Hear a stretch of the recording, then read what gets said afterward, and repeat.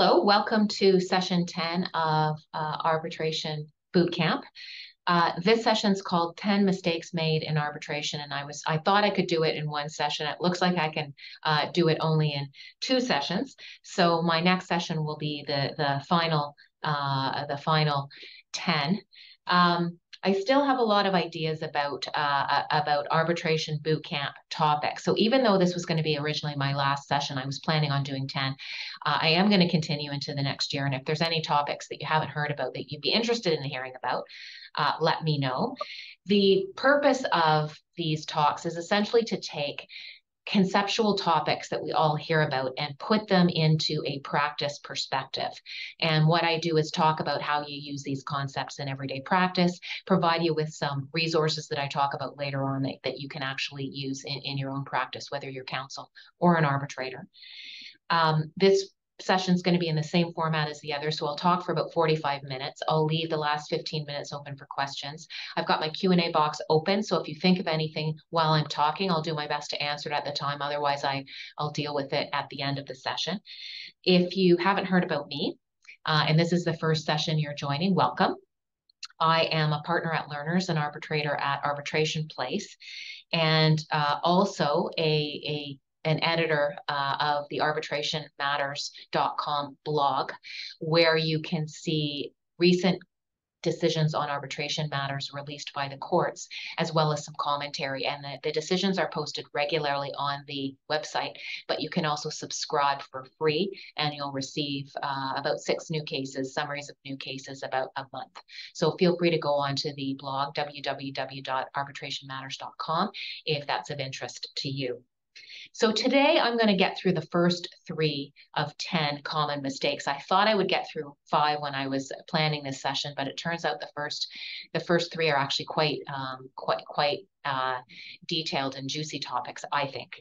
And so what I'm going to cover today is the seat of the arbitration. There's lots of confusion about what that concept means differences between appeals and set aside applications and the differences between awards and orders.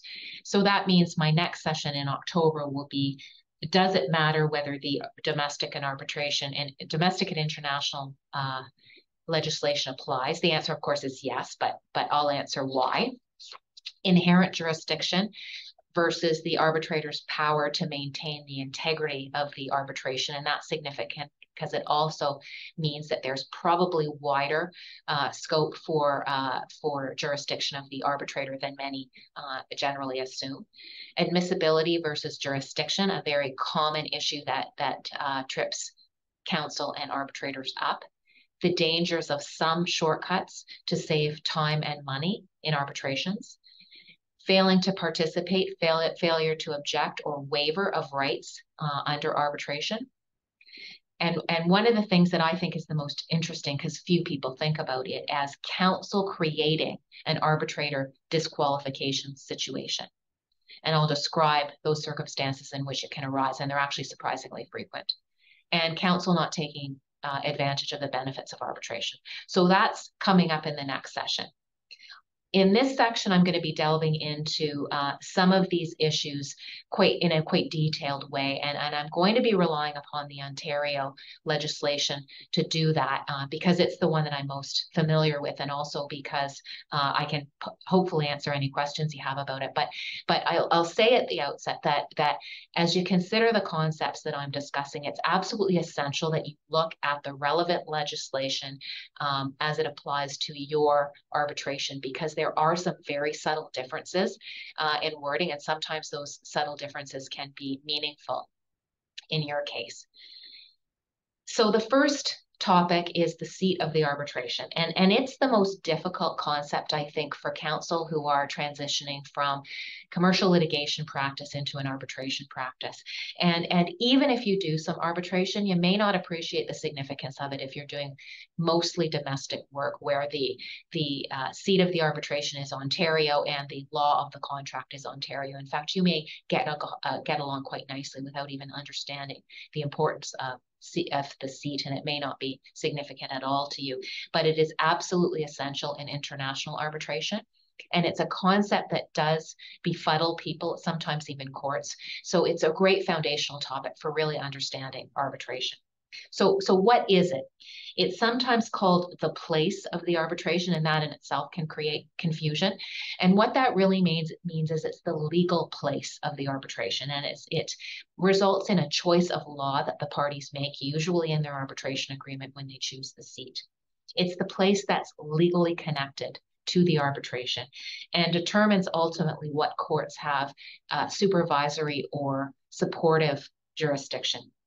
And so, for example, that the seat determines where the parties will go if they like to appeal the award or set it aside, where they need to have the court's assistance to either appoint an arbitrator or have an arbitrator removed, for example. So if the seat of the of the the arbitration, for example, is Ontario and it's a domestic arbitration, then the Ontario Domestic Arbitration Act will be the the act that applies when the Ontario court has supervision over the the arbitration. If the seat is in Ontario, but there is, uh, it's an international arbitration, then the Ontario Commercial International Arbitration Act applies, and that, of course, adopts the model law. So we're essentially talking about uh, the model law as the relevant legislation. So strictly speaking, because we're talking about the, the courts and the legislation that have jurisdiction, it's not technically correct to talk about a seat being in Toronto or Vancouver or Calgary. Um, to, really correctly, it's it's it, the, the the seat should be the on you know Ontario, BC, or Alberta, but but the, the, the potential confusion, of course, is that the use of the word seat could refer to the party's preference about where the, the the hearing will take place. And that really is the biggest confusion that people have about what the seat means. They sometimes assume that the seat is the place where all of the hearings must take place. And that's not the case. And I'll talk about that in a moment. But if the arbitration agreement says that the arbitration is to take place in Ontario, Calgary, Manitoba, that makes the, the applicable legislation a lot clearer. And so the the seat determines what we what you hear called the lex arbitri and that may be different from the substantive law that applies. So you may find a contract that is to be interpreted in accordance with the law of Alberta, and yet the seat of the arbitration is Ontario. And there are even more complexities in international arbitration, but it's very important to make sure that you understand those distinctions. So it may be that there is more than one law that's applicable, even to a domestic arbitration situation. And as I said, the seat is to be distinguished from the place of the hearings of the arbitration. So the hearings will often take place in a location that is convenient to counsel or to the witnesses. It may not, in fact, even take place in the same location. So you may have some witnesses who give evidence in one location and the rest of the hearing takes place in another. And there may be very good reasons why uh, the parties would like to have the location of the hearing in a very different place than the seat. So for example, it may be uh, of importance to have proximity to an international airport or some very sophisticated uh, hearing facilities. Or, for example, the seat of the arbitration is a very difficult place for parties to enter into because of complex visa or difficult visa requirements. Um, and that won't necessarily uh, that doesn't prevent the, the hearings from taking place in another jurisdiction, even though the seat is the one in which entry is difficult. Or to give an example that's very uh, current today, if, for example, the people chose, the parties chose a seat to take place in Ukraine and didn't want to actually enter Ukraine because of the war, they could still conduct their arbitration with seat in Ukraine and having the hearings take place somewhere else. So hopefully that such that the difference is is is becoming more clear. How does the seat get determined? Well, it gets determined by the parties. They have a choice of seat. And if it doesn't get decided by the parties, usually in the arbitration agreement, it gets decided by the arbitrator, who usually chooses a seat which it has the closest connection to the parties in the dispute. So why is the seat actually important? So because the seat determines the supervising courts, it's very important that the parties choose a seat which has courts that are knowledgeable about arbitration and supportive of arbitration. We call that an arbitration friendly jurisdiction. And it may be that the parties want, for example, to choose a seat in which the model law is the relevant jurisdiction because parties are familiar with it. There's a well developed uh, legal structure, and that can be a very important consideration in an international arbitration. Or the parties may choose a seat, neutral seat that has no connection whatsoever to the dispute and that sometimes is done so that neither party feels that it's it's subject to an unfair advantage because, for example, there's some identity between the location, the seat, and one of the parties. It's common to see as seats New York, Paris, London, Singapore. And so you'll see I've got a combination there of cities and and countries. And and so notwithstanding my comment that it's much better to identify the the legislation, um, the governing uh, body of uh, that that has issued the legislation or enacted the legislation, you'll see that that's not common practice, but which can lead to some confusion, which is another reason distinguishing in your mind between the seat and the location of the hearings is absolutely critical. Another reason why the seat is so important is most parties will want to ensure that the seat is a place where the New York Convention has applied uh, it has been enacted. And that is, many say, is the most um, successful international treaty because so many uh, countries have have enacted it and are signatories to it. But what it means is that if the seat is a place where uh, in, where um, where the New York Convention has been enacted, it really does make enforcement of the arbitral award uh, much easier. And enforcement is something that many parties, many parties in counsel misunderstand. And, and to enforce uh, an award in one of the New York Convention states really is all about making sure that the procedural fairness uh, uh, was present in the underlying proceeding. It's not really an opportunity if somebody is opposing enforcement to claim, for example, that the arbitral award is incorrect at law. So really, if there's an enforcement initiative in a York Convention state, the focus on the state that is is being asked to recognize or enforce the award is on the procedural fairness. The, the, the grounds for failure to enforce are procedural grounds. For example, the party to the arbitration agreement was under an incapacity. The arbitration agreement is invalid. The party was not given proper notice of the appointment of the arbitrator or was unable to present its case. The award deals with a matter outside the arbitration agreement.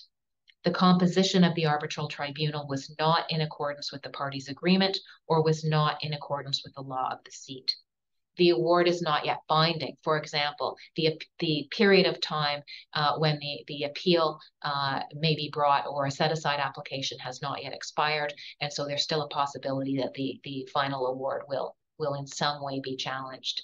And, and the reason it is important then for the seat to be a New York Convention um, state is so that the, the, there is certainty about the kinds of uh, matters that will be relevant on an enforcement proceed, proceeding and and the parties who sign on to to uh, to to a state in which the New York Convention applies understand that the limitations in in having the the enfor- award enforced relate strictly to procedural grounds.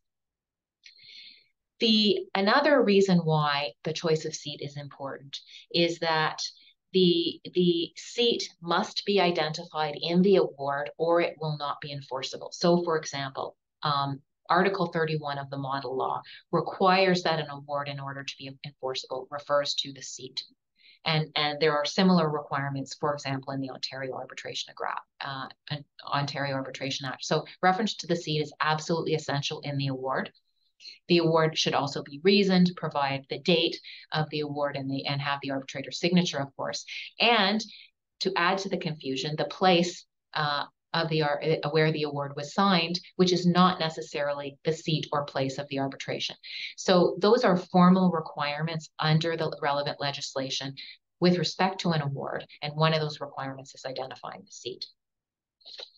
So as I've said, the concept of seat can be very confusing, particularly to people who are not arbitration practitioners. And one of the most recent cases that I can think of in which that became an issue was, of course, the Uber and Heller case.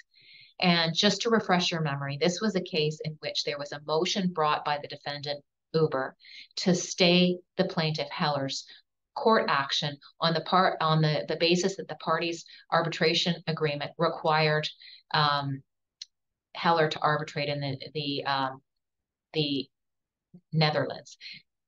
Heller argued that the arbitration agreement was unconscionable and invalid, in part because of the requirement to arbitrate in the Netherlands.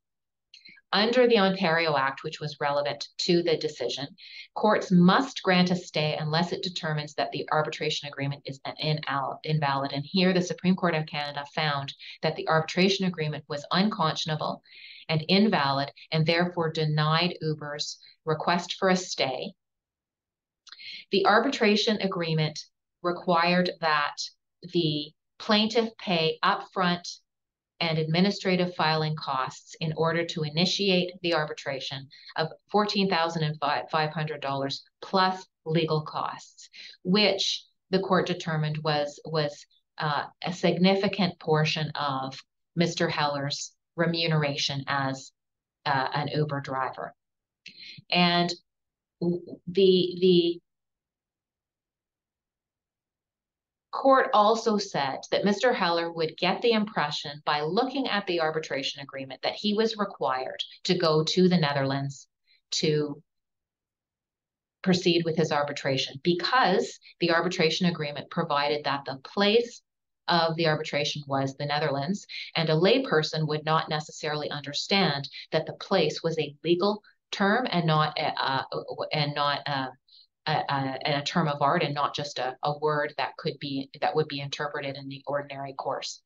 And so that was one of the factors that the Supreme Court relied upon to say that the the clause was unconscionable. And it noticed that it, it did note, of course, that the, the idea of the legal place or the seat is different from the place as one ordinarily considers it, but that from Mr. Heller's perspective and from the perspective of other the other potential members of the plaintiff class, that would not be apparent.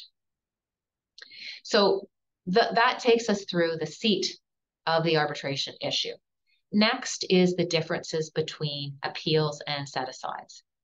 So the appeal and set-aside application are two avenues for challenging a final award. And of course, an appeal is available only under the domestic arbitration, not under domestic legislation, not under the um, international uh, international uh, legislation but there, there are very different remedies. So an appeal provide is, is, is something that can be granted where the arbitrator has made an error on the merits. A set-aside application can be can be uh, uh, granted where there was some procedural irregularity that made the process unfair. In many cases, you'll see that parties will seek both forms of the of relief, and in one case, bootstrap one of the the claims against the other, but they really are distinctive. Um, they really are distinctive remedies. And there is a recent case, which I think is consistent with previous cases, that a party cannot opt out of the model law, even if it will, even if desired, if the parties desire desire it. And that's EDE Capital Inc. versus Guan, 2023 Ontario Supreme Court 2373. And the reason that concept is important is parties can't choose um, to opt in or out of the applicable legislation. And, and as an extension, they can't opt out of uh, a set aside application by choosing the um, in, in their arbitration agreement uh, to do so because that's a fundamental right, a fairness right that parties have. And you'll see in the Ontario Arbitration Act where there is provision for opting out of certain of the sections of the Arbitration Act, but setting aside is not one of the provisions that parties may opt out of. Now, to talk specifically about set aside applications, essentially the grounds for set aside are procedural unfairness. And the foundation for those rights is in the fundamental of part, right of parties to be treated fairly and equally. And you'll see that language in both the model law and in the domestic legislation, except BC, which talks about uh, the parties being treated fairly alone. So, for example, under the Ontario Arbitration Act, under Section 19, in an arbitration, the parties shall be treated equally and fairly and each party shall be given an opportunity to present a case and to respond to the other side's cases. And this is a concept we also see in Article 18 of the model law.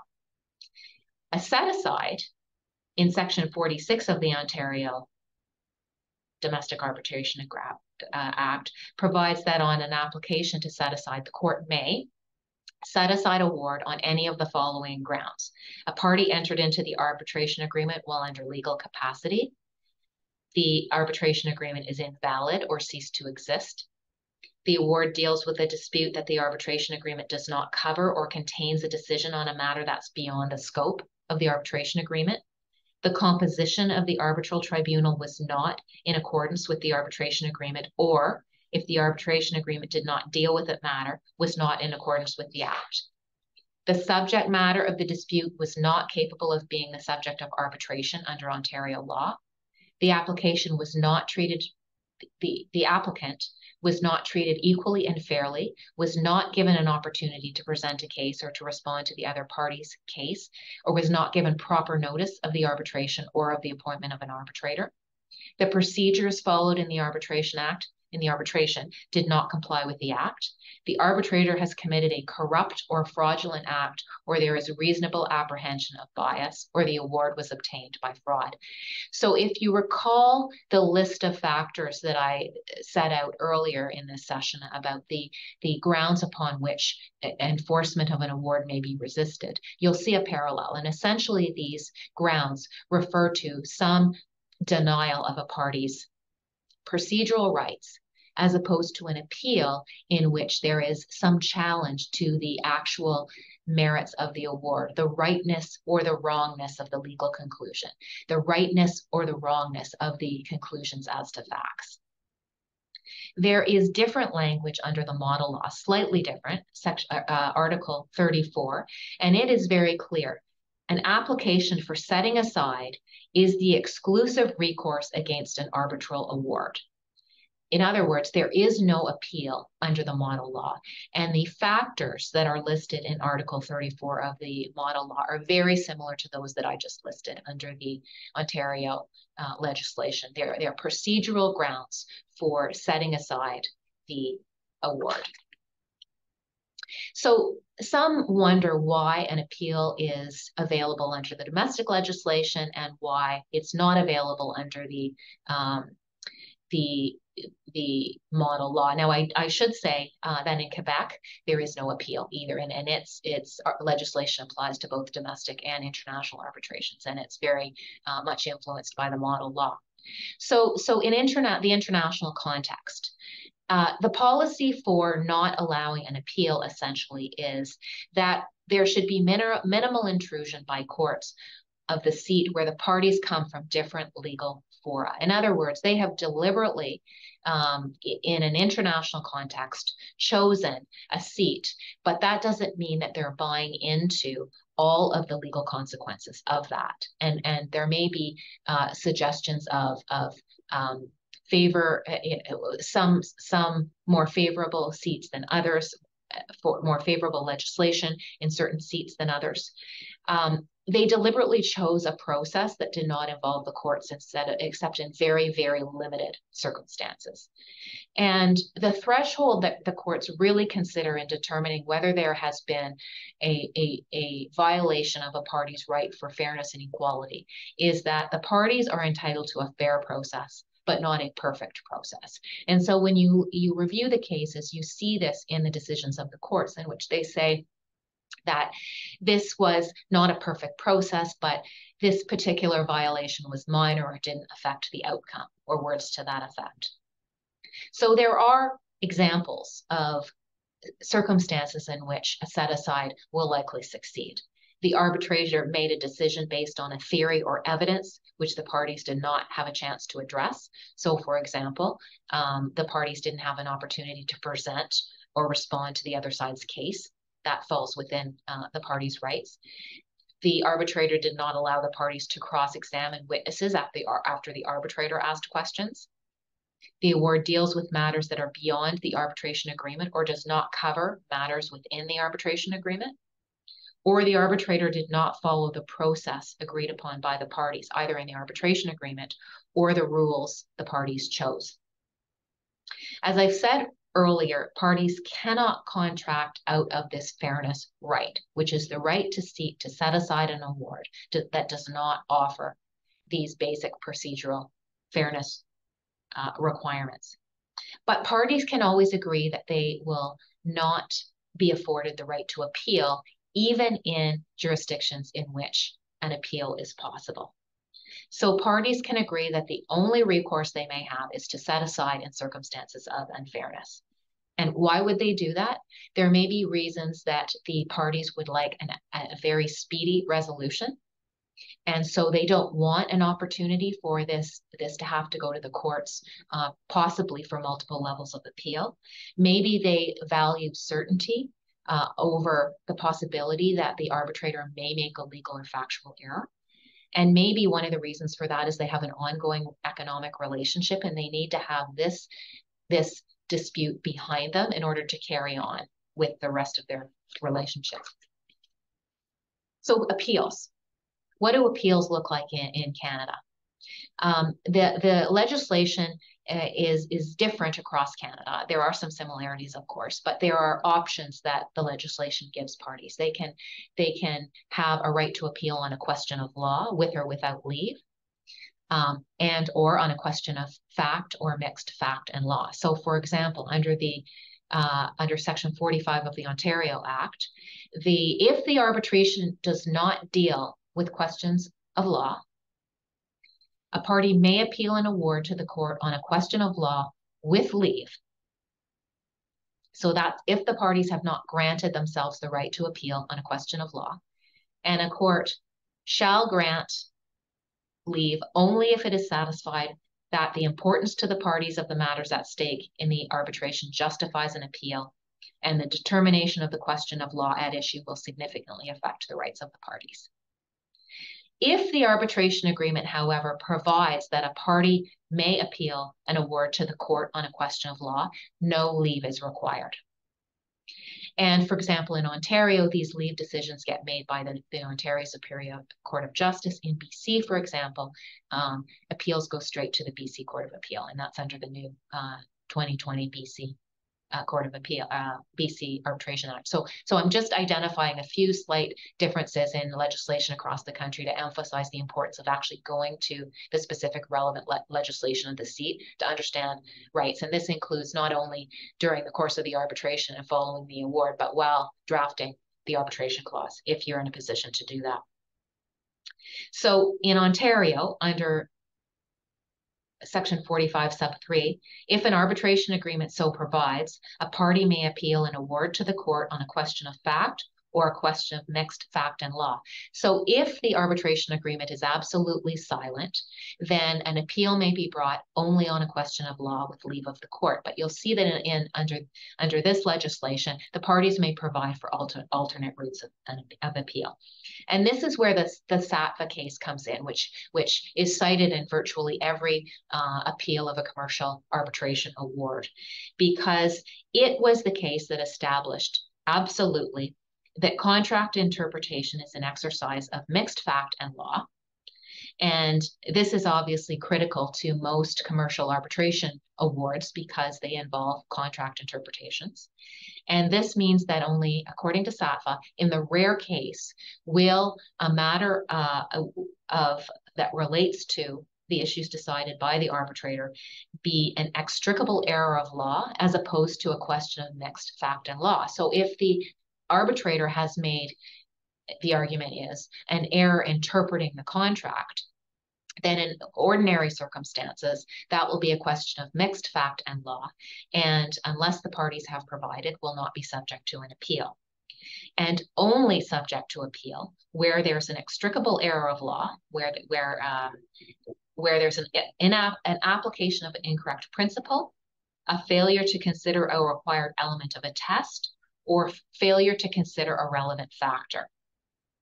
And you'll see if you're closely watching the case law that many, many parties try to fit themselves within this extricable error of law concept, and it is very difficult to do and rarely uh, supported by the courts. And part of this is because the Supreme Court of Canada was very clear that it's rare that you will find an extricable error of law. Sometimes, however, there will be a procedural issue that's an error of law so that both an appeal and a set aside will uh, uh, application may be brought, but these are really distinct um, re remedies. Now, to add to the potential confusion here, there's a line of cases uh, out of the British uh, out of the British Columbia courts that that say that a misapprehension of the evidence going to the core of the outcome can be an error of law. So an error of fact can be an error of law for the purposes of a right to appeal where that error of fact goes to the core of the outcome. You following me? And this was a decision called Escape 101 Ventures versus March of Dimes Canada, 222 BC Court of Appeal 294. Leave was recently refused by the Supreme Court of Canada, and I, I, will send you that citation. But it's really important because this has opened the, the possibility of potential appeals in BC under this uh, this case, um, and there are there is a line of cases in BC that that follows this uh, this case. In Ontario, however, there's a very different line of cases that is developed, and one of the most um, the most widely read example of that is called Tall Ships Development against Brockville City, 2022 Ontario Court of Appeal, 861. And it talks about the caution that is necessary in order to extricate a question of law. And the reason for the Supreme Court of Canada's decision in uh, Sattva to limit the, the circumstances in which an appeal may be brought of a, of a, a, a commercial arbitration award is that during the contractual interpretation uh, exercise, the mixed fact and law exercise is is one that should be within the jurisdiction of the tribunal and to rule otherwise really introduces in, inefficiencies into the arbitration process that it was designed to avoid.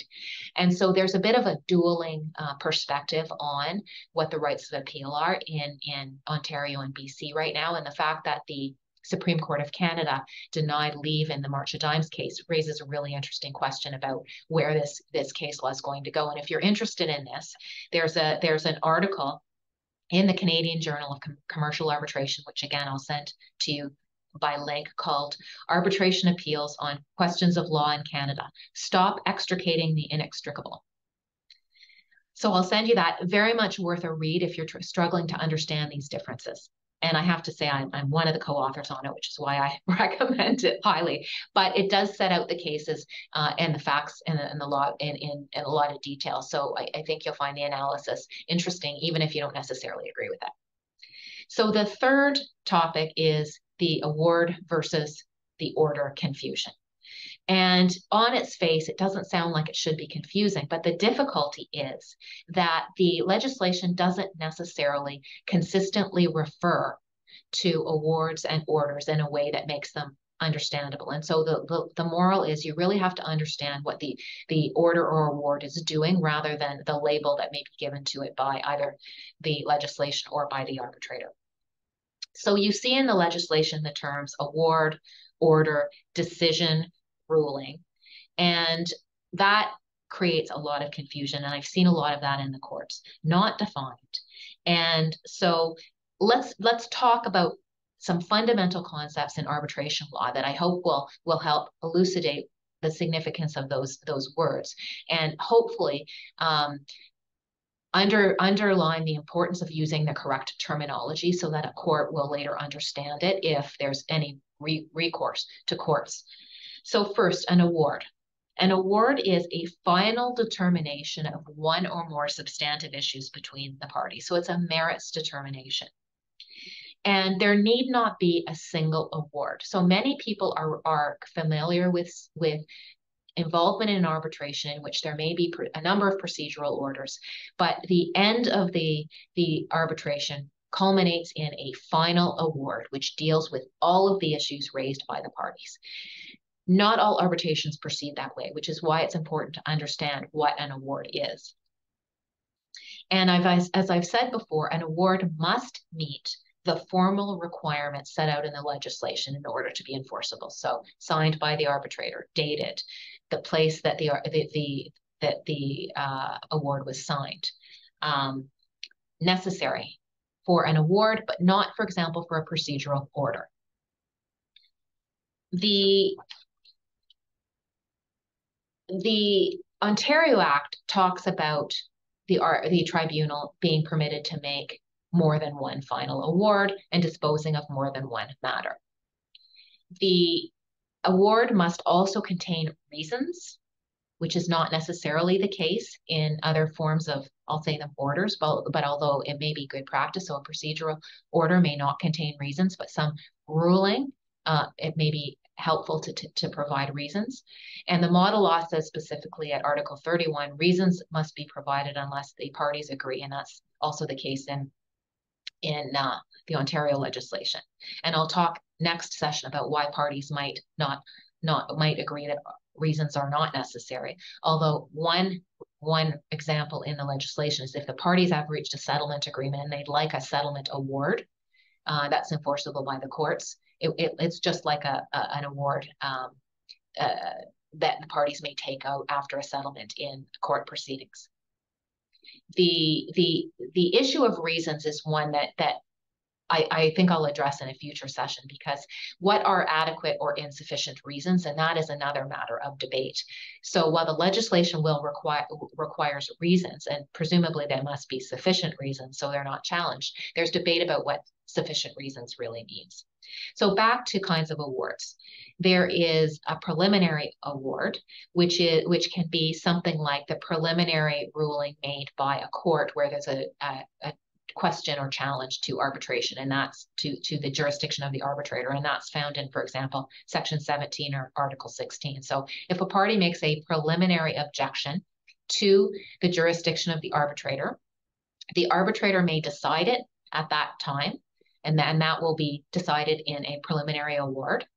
Or the tribunal may decide to deal with that issue in the merits, and then it will be dealt with in a final award.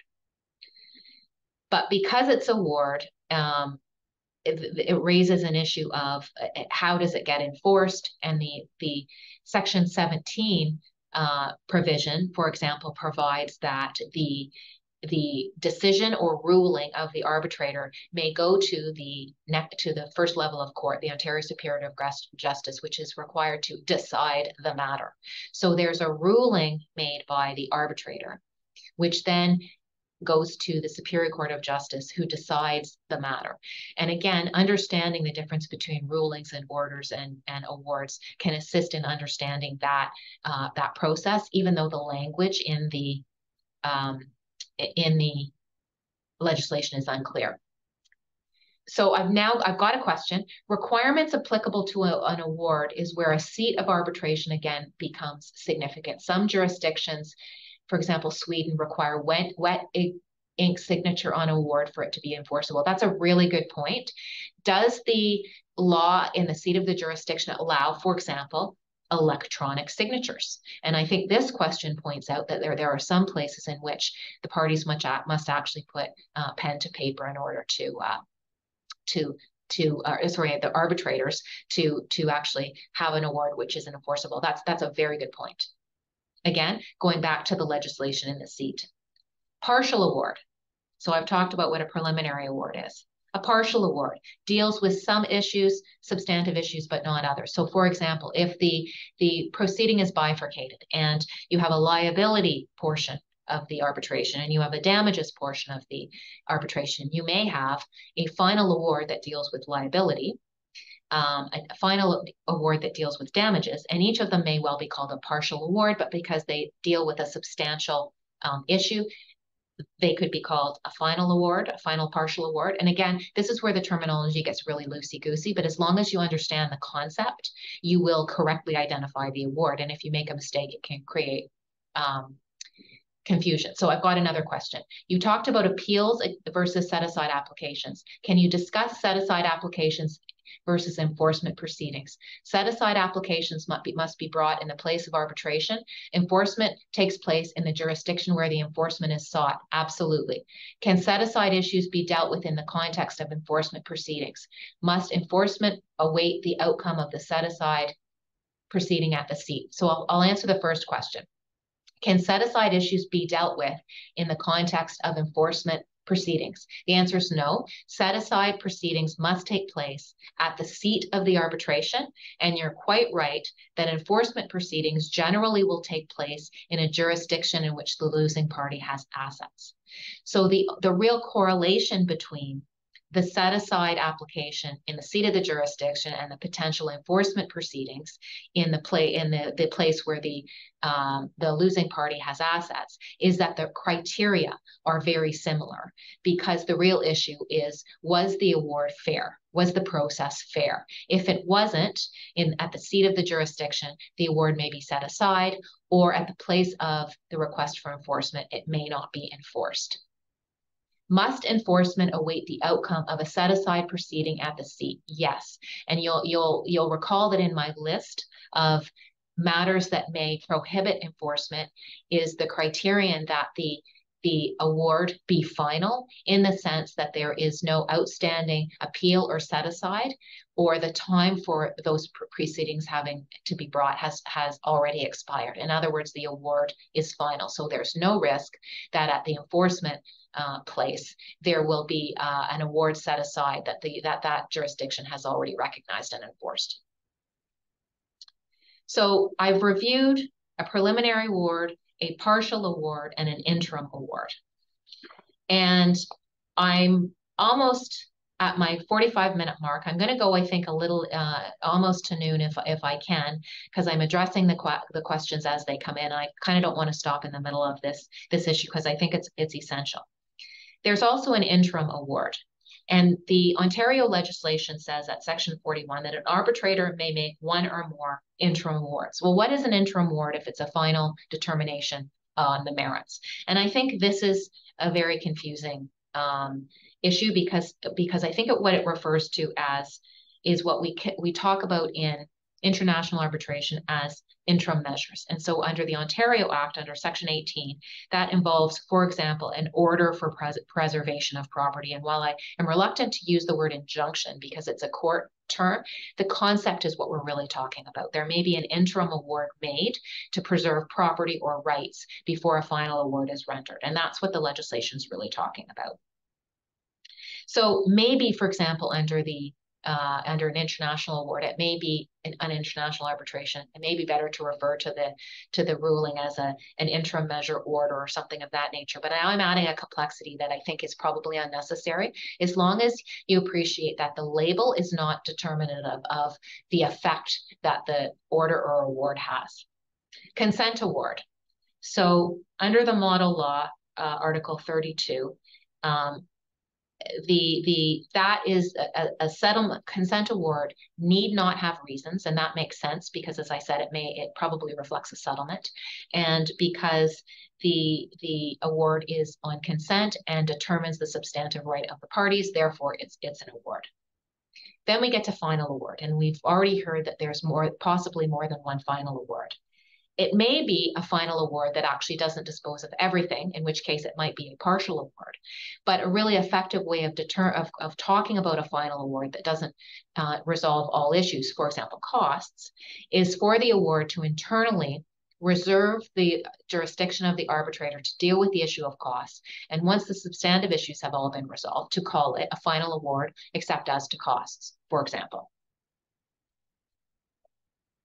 And again, there's a there's a cost award. Now, there's also something called an additional or supplementary or correcting award.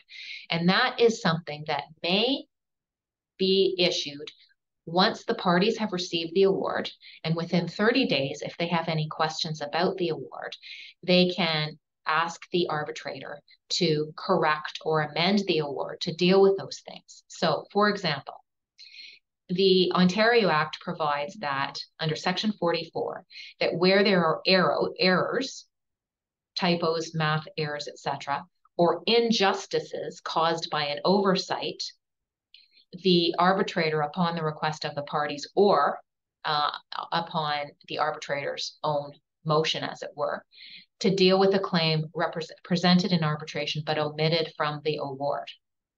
So this is essentially some kind of a mistake or a math error. The, the arbitrator, before becoming functus officio, has an opportunity to fix those problems. And interestingly enough, the, the courts do not seem to require that a party seek this correction or amendment before challenging the award, usually by way of an appeal. Under the model law, however, essentially the, the, the parties can request the arbitrator to both correct computational errors or typos or clerical issues, but also to interpret a part of the award. We don't see that language in the Ontario legislation. And here's another good example why careful reading of the legislation is absolutely essential because the, the rights that arise may very well be different. A party under the model law may also ask the arbitrator to make an additional award with respect to claims presented and, and omitted from the award. Then finally, we have an order or a direction and we're familiar with an order in the form of a procedural order, number one, two, three, whatever. And it cannot be reviewed by a court on appeal, but may be subject to a set aside application on the basis that there's been some unfairness in the process. So the the issue about awards and orders is something I think is really well exemplified in a case called Russian Federation against Luxtoma, Luxtoma Luxtona, 223, 2023 Ontario Court of Appeal, 393. And it's worth reading on a whole bunch of uh, on, on for a whole bunch of issues and all of the various court levels because it essentially holds that the the court's ruling on the um, whether on the preliminary um, jurisdiction uh, objection, which goes to the Ontario Superior Court to decide the matter. The Ontario Superior Court's rule is to consider the issue afresh. So it's a de novo application. And so the words decide the matter refer not to an appeal, but a hearing de novo. And that's extremely important. But but to the issue that I'm talking about today, the arbitrator who made this initial this ruling on the initial jurisdiction question actually did not call the decision an order or a ruling, but called it an award. And so there's there's an outstanding question in that case about whether that actually affects the route to appeal. And so if you go back to my to my uh, comment about the, the label is less important than what the the um, actual function of the decision is. Uh, that issue in this context has not been decided. And there's a decision called United Mexican States against a Burr, in which the court has has recognized that as an outstanding issue, which the court called riding both horses, but hasn't uh, actually fully decided the issue. So that's the end of um, this session as you know, I made it through my top three of my top 10. My next session on October 12th uh, at the same time at 12 p.m. will cover why does it matter whether the Domestic or International Arbitration Act applies, the inherent jurisdiction of an arbitrator as opposed to the power to control the process, admissibility versus jurisdiction, the dangers of some shortcuts to save time and money, failing to participate in the arbitration or object or waiver of rights, counsel creating a disqualification, disqualification risk. In other words, there's conduct on the part of counsel, which may result in the arbitrator being disqualified and counsel not taking advantage of the benefits of arbitration. As usual, at the end of this session, you will get both a recording and uh, a uh, list of the resources that I've talked about with links to them. And if you want to know more about the analysis that I give to some of those cases and some of the other writers who work with me on arbitration matters, you can go to arbitrationmatters.com while you, while you see a summary of a lot of these cases and some commentary. So I don't see any further questions. If anybody's got a question, now is your time to ask it. So I'll just wait a few moments to see if somebody's going to add a question.